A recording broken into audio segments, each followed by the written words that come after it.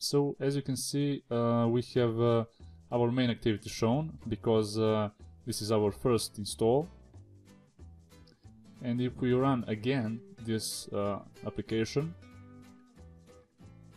we will get a second activity which means uh, the main activity was shown only the first time a user installed the application and again we will run this application and as you can see we uh, have second activity running out.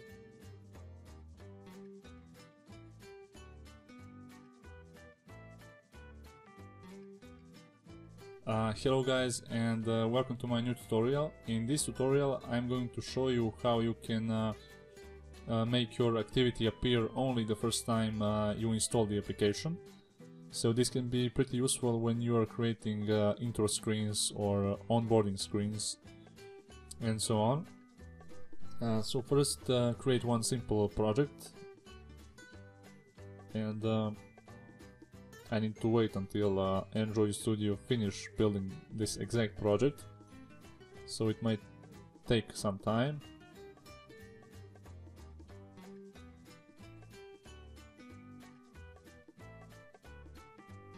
Okay I think uh, it's finished. So the next thing what we are going to do we are going to create uh, one more activity. Uh, empty activity uh, just uh, we will name it second activity. And okay. Uh, the next thing we're going to open activity main layout and we are going to rename this text to uh, main activity.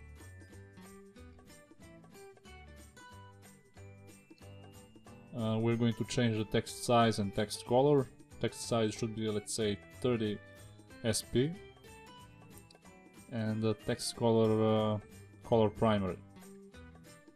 Let's say color primary. Okay, so it should look something like that. Simple, but uh, in order to show you the main function of this tutorial. So uh, in the second activity layout, uh, we're going to create one text, again on the center of the screen, um, like it is on the main activity uh, layout. So we're going to change the text to second activity. We're going to put a space uh, between that like we have on the main activity. And then uh, we're going to change the text color and text size. And it will be the same as uh, in the our previous layout. Like that. So now we will start uh, with the code. Open up uh, main activity and we are going to create uh, shared preferences. Uh, we're going to create a reference to shared preferences. Uh, click uh, get shared preferences and uh, in the name type the name of the file in which will you save this little preferences. And the second parameter is mode. If mode is private then only your application can access access uh, your preferences. So now we're going to uh, add uh, one string in in a term of key and value. So the key will be first time install and the value would be yes. And then just use method apply to to save this uh, this little uh, key and value. Uh, the next thing we're going to do, we're going to cut this here a little bit above and we are going to use uh, this uh, preferences uh, reference to read uh, the preferences. We have already saved or now we will see. Uh, but uh, we will put these preferences in a string named first time. So we'll use method get string to to get this first time installed because this the string is uh, with the same key. Okay, and uh, as, as a second parameter put uh, an empty string. So now we will use if statement. So if first time string is equals to, we'll say yes. Then we will uh, run the intent and else we will create this this uh, preferences. So we are going to use intent to start a second activity. So if uh, this uh, string contains the preferences uh, of yes value, then it will start the activity, but if it doesn't contain the yes, then it will create the yes. So it means uh, it will create the first time when the user starts this activity, uh, this application, and uh, every second start of this application will check if uh, if it contains these uh, preferences we have already saved.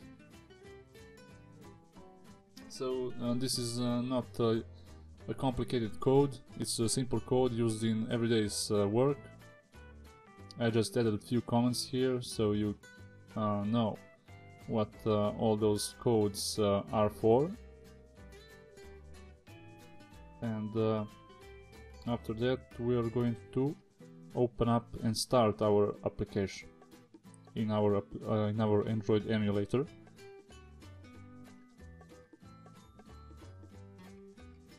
Okay. Now we will delete this uh, previous application and uh, we will wait until the new one starts. So as you can see uh, we have uh, our main activity shown because uh, this is our first install and if we run again this uh, application we will get the second activity which means uh, the main activity was shown only the first time a user installed the application. And again we will run this application and as you can see we uh, have second activity running out. So uh, our main activity was uh, was running just the first time a user installed the application. So instead of that uh, main activity you can add uh, your intro activity or uh, intro fragments or anything else. So that was it for this tutorial. Uh, thank you for watching. I hope you enjoyed. Please subscribe to my channel if you like uh, my content and uh, see you in the next video